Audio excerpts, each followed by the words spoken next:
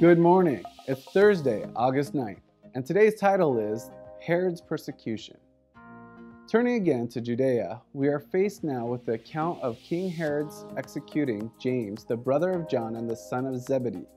He also wanted to do the same with Peter.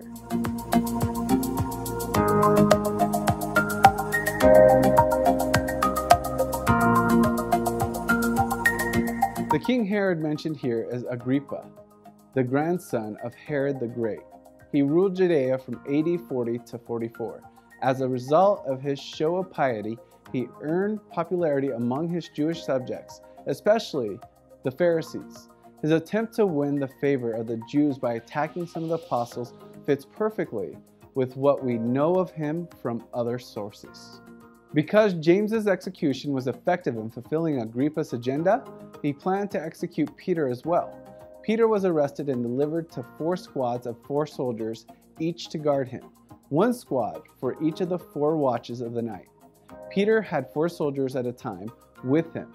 He would be chained to two soldiers, one on each side, and two would guard the entrance. Such extreme precaution was certainly taken to try to avoid what had already happened to Peter and John some time before.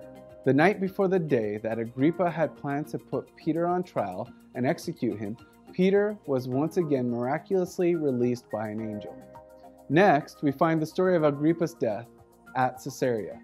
Attempts have been made to identify the cause of his death peritonitis, an ulcer, or even poison. Yet, Luke is clear in saying that the king died because of a divine judgment.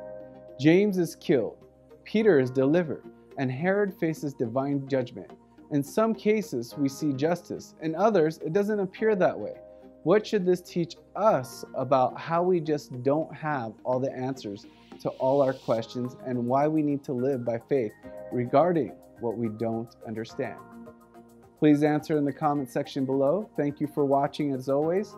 God bless you and have an awesome day.